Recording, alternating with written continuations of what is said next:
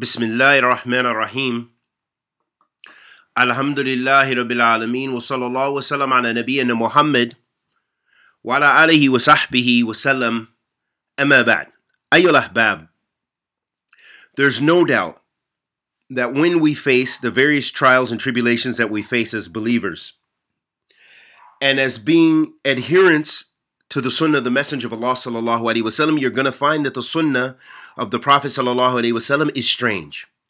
You'll find that amongst your own brothers and sisters in the masajid. You'll find that everywhere. And this is not an encouragement to distance yourself from your brothers abadan.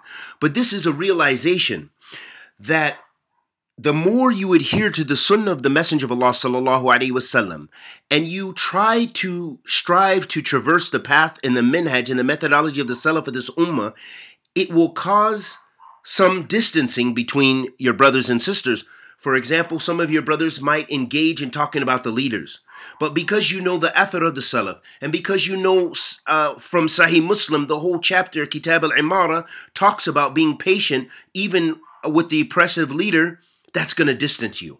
You're going to be distanced in minhaj. Some of your brothers will en- encourage you to get involved in politics and, and, other aspects and say, we need to do this and we need to start voting and we need to put pressure and, uh, you know, for intervention in Syria. So we need to protest and we need to march and we need to, and you'll say, do you have a salaf for this? Do you, does, was this the minhaj of the salaf of this ummah? So then it appears as if you're a stranger and the Prophet ﷺ said, Give glad tidings to the stranger. Why? Because they are the the sunnah, they are on the sunnah, and the sunnah will become strange. Listen to some just two short athar of the Salaf of this ummah. Ash-Sha'bi said, Whatever those people say from the Prophet sallallahu alaihi wasallam, then accept it.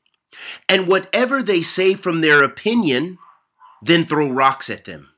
This is how the Salaf of this Ummah were about sticking to the Sunnah. They didn't care. It wasn't about popularity. It wasn't about a clique and a group, but it was about adhering strongly to the Sunnah of Muhammad ibn Abdullah sallallahu alaihi wasallam and the Salaf of this Ummah, the righteous predecessors.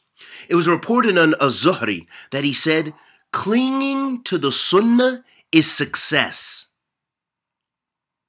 So if you want success in this life, as well as the hereafter, then cling to the sunnah of the Messenger of Allah sallallahu alaihi wasallam and the minhaj, the methodology of the Salaf of this ummah, how the Sahaba radiyallahu ta'ala how they understood the text, and suffice yourself with that. And we ask Allah the Almighty to accept our good and forgive our evil. Wa sallallahu wa sallam ala Muhammad wa ala alihi wa sahbihi wa sallam.